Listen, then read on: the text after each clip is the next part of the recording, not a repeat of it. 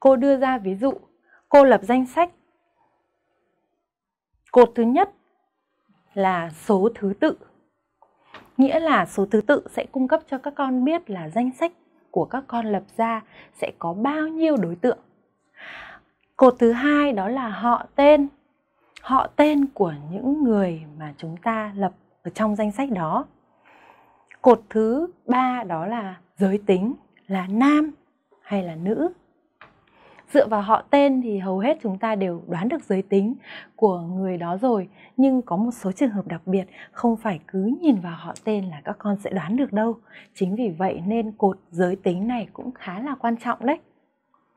Cột tiếp theo đó là cột ngày sinh. Chúng ta lập danh sách, ngoài họ tên chúng ta sẽ quan tâm đến ngày sinh của người đó. Và cột cuối cùng đó chính là nơi ở. Ngoài ra trong danh sách các con có thể quan tâm thêm, đó là quê quán hoặc là đối tượng đó có điểm gì đặc biệt thì chúng ta sẽ thêm cột ghi chú nữa. Tức là tùy vào yêu cầu của bài mà chúng ta yêu cầu như thế nào thì chúng ta sẽ lập danh sách theo đúng như yêu cầu của bài nhé.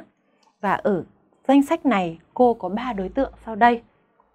Thứ nhất, đó là Trần Trang Anh, giới tính nữ sinh ngày 16 tháng 6 năm 2013 và nơi ở là Đống Đa, Hà Nội. Đối tượng thứ hai chúng ta quan tâm đó là Nguyễn Minh Hiếu, giới tính nam, sinh ngày 19 tháng 10 năm 2013 và nơi ở đó là Đống Đa, Hà Nội.